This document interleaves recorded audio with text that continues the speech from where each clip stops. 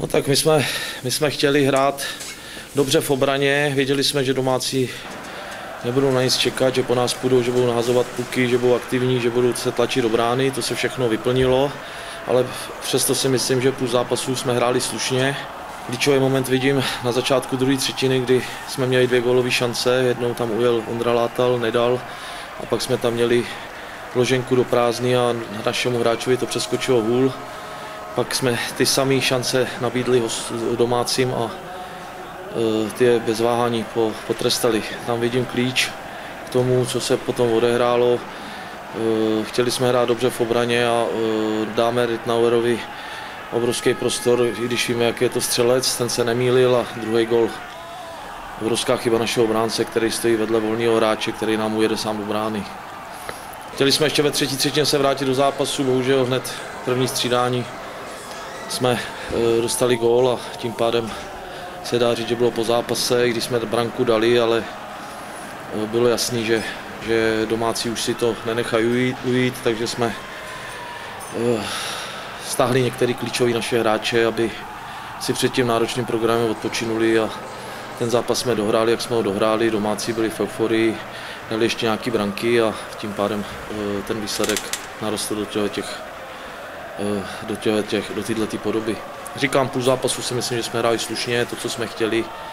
Eh, chtěli jsme dát první gól, měli jsme ho na lopatě, nedali jsme ho a myslím si, že by se to možná vyvíjelo jinak. My jsme věděli, že Střebíč jede strach, nebo já jsem věděl, že Třebíč teď posledních devět zápasů, já nevím, osm jste vyhráli, takže byli taky ve velké euforii a přijeli s perfektní obranou. Tam ta první třetina byla o tom, kdo udělá chybu, neudělali nikdo, tak to skončilo tak, jak to skončilo. A já musím hráčům poděkovat za to nasazení, za tu bojovnost a za to všechno, protože byl to hrozně těžký zápas pro nás, protože my jsme po těch po tom zápase venku, kde jsme prohráli 1-0, střelicky nám to moc nevycházelo, tak dneska nám to tam nějak spadlo a jsem rád, že od golmana až po posledního hráče na, na, na hřišti odvedli všichni perfektní výkon a jsem rád za tenhle výsledek.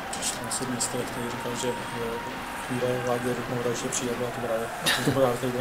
Kdyby to tak bylo, tak bych byl hrozně, hrozně rád i za Láďu, protože vím, že Láďa to měl hodně, nebo má to hodně těžký a jsem rád, že to takhle vyšlo a chtěl bych, aby mu to pokračovalo. ještě Romu zeptal na ty nejbližší zápasy, vlastně hraje se den třeba od pondělí do středy každý den. Tak... tak my jsme se vlastně, jak jsem říkal, jsme sundali Dolníčka, Laše, jsou nejvíc vytížený hráči, za stavu 4-1 nemělo cenu tam si něco dokazovat, ale to bude náročná série, to si nemusíme nic nalhávat, ještě v takovýma soupeřema, prostě se vás takhle rozhodl. Já pořád to nechápu, ale bohužel u nás je všechno možný, takže uvidíme, jak se s tím popereme. My hrajeme po každý bod, protože ty body zůstávají, zůstávají ve hře, že jo? takže já nevím, jak hráli ostatní, nevím, jestli ještě máme nějakou šanci na playoff. Určitě se popereme o to, ale říkám, my chceme každý zápas uhrát nějaký body, aby jsme, pokud se nedostaneme do playoff, aby jsme uh, měli něco nahraného, protože potom uh, ta playoutová skupina, pokud do ní spadneme, tak bude hodně, hodně složitá, takže každý zápas jdeme uh, pro body a nedíváme se, nedíváme se ani nahoru, ani dolů, prostě pro nás je každý zápas důležitý a Říkám, bude to, bude to těžký, ale hrajeme doma dvakrát, tak já věřím, že nám lidi trošku pomůžou a, a že z toho něco vydolujeme. Tak samozřejmě, samozřejmě my to máme ve vlastních rukou, jo, protože my musíme my bodovat, my musíme uhrát něco, takže to je stejný, jak Kamil tady říkal. Každý bod se počítá, každý, každá branka se počítá, takže není jiného zbytí nám to doufejme trošku psychicky pomůže, takže i ta únava bude asi o něco líp se střebávat a je to, je to náročný, náročný týden pro ně, pro hosty je to ještě náročnější, ale říkám, je to takhle a si už nikdo nic neudělá.